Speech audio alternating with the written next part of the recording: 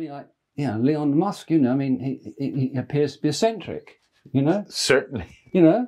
And what do you think of what he's doing? I think it's- well, I, I don't know how much of it is, is, is rhubarb, as they say, um, but you, the, the, the, you know, you've got to admire the guy. And what really pleased me was, that- and this little light bulb went on in my brain when I was watching. I think it was last week. There was a documentary on him, and they showed him as quite a young man taking delivery of a McLaren F1. yes. And I thought, hey, that's that's a bit special, you know. The fact that he's worked that out, you know, the Yeah. fact that he's he's figured out that someone in the UK, Gordon Murray, has gone right down to the extreme of car design, and and that to me, for him to realise that and buy one, I mean, they were not cheap, No.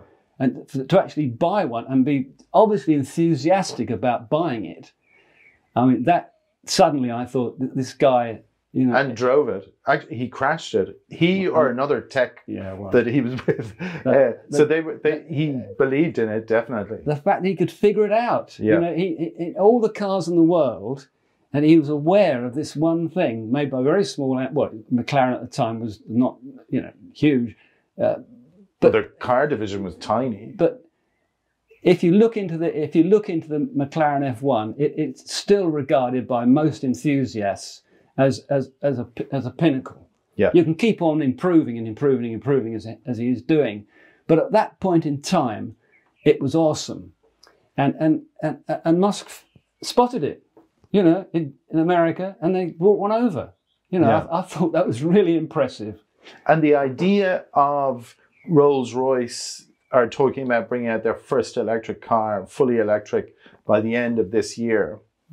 I think a lot of people won't realize that Charles Stewart Rolls had an actual PowerPoint outside his house in London in 1908 for people to publicly, it must have been the first public Yeah. electric charger in Yeah. London Yeah. that the idea that with an electric self-driving Rolls Royce, it almost comes full circle to having a chauffeur and a coach-built car. I have to say, I mean, uh, uh, uh, there's a lot of enthusiasts are, very leery about electric cars, but in the case of a Rolls Royce, I have to say it, it just seems to be the it seems to be the right thing to do, because at the moment, uh, you know, you- the Crewe cars which which which you've got outside, uh, I mean, they took tremendous efforts to tame a V8, a very powerful engine, you know, noise.